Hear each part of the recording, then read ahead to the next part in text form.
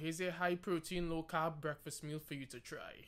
Two eggs, 150 grams of egg whites. Mix that shit up real good. A teaspoon of olive oil. Add your eggs. Season however you want. Spinach for that fiber and greens. When it's a bit cooked, flip it in half.